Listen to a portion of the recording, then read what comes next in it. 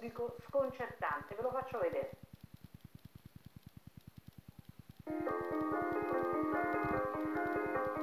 E lì, questa finestra un po' aperta, è la camera di mia suocera, sì. Adesso è sola. Ci sono stati due o tre giorni di abbandono totale.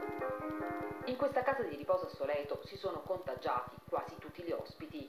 Dieci persone sono morte. La vecchia gestione ha lasciato la struttura perché anche i dipendenti si erano contagiati ed altri erano in quarantena.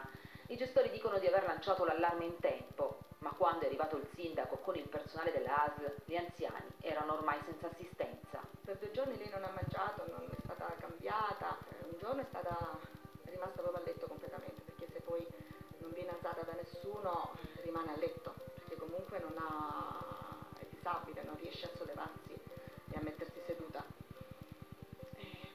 senza farmaci, per quattro giorni senza farmaci. Ha contratto il virus in struttura, è asintomatica però. Dunque noi speriamo con tutto il cuore che passi presto questa settimana per poter dire che ha superato anche questa battaglia.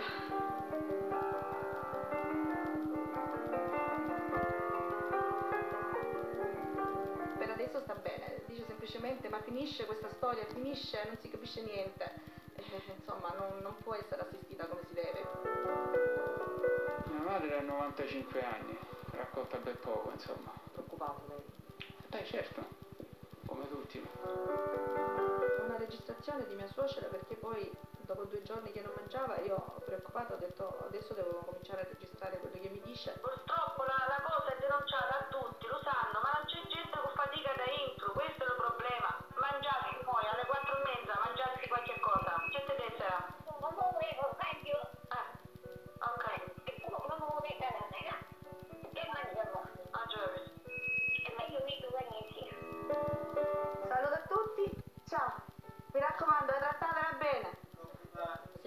dalla finestra e ho potuto vederla. Siamo fortunati rispetto a tante altre persone che purtroppo non sanno niente dei, dei loro cari. Cioè, alcuni giorni diceva mi sento impazzire qui dentro, mi sento impazzire.